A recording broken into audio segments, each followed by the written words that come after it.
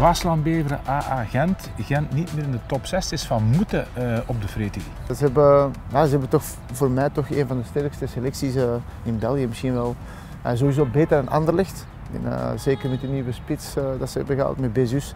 Denk je dat ze echt een enorm sterke kern hebben. En ik denk wel dat ze het uiteindelijk nog zullen halen. Ja, ze hebben nu een, jammer genoeg een slecht resultaat gehad tegen, tegen Moeskroen zondagavond.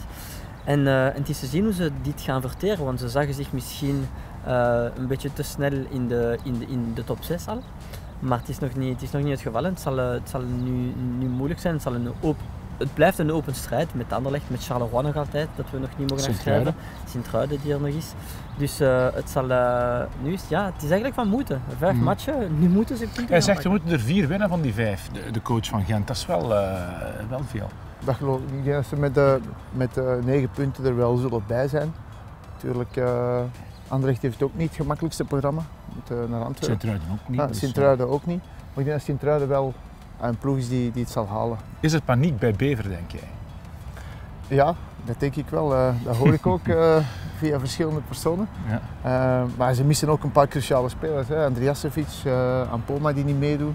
Dat zijn heel belangrijke spelers voor dit Beveren. Misschien beginnen de mensen nu al te beseffen van oei, we hebben inderdaad punten gepakt, maar inhoud was er niet. En uh, als het geluk er niet is bij Beveren, is het moeilijk om punten te pakken. Dus um, het kan nu al gedaan zijn na deze match van oké, okay, we zijn gered in functie van hun resultaat en die van Lokeren.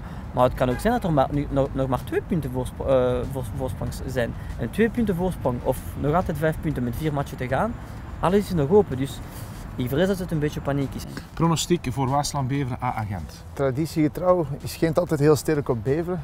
Dus ik verwacht dan ook, uh, ook nu weer een uh, overwinning voor Gent, omdat ze toch wel zullen moeten reageren. Uh, ik verwacht toch een 0-2 overwinning.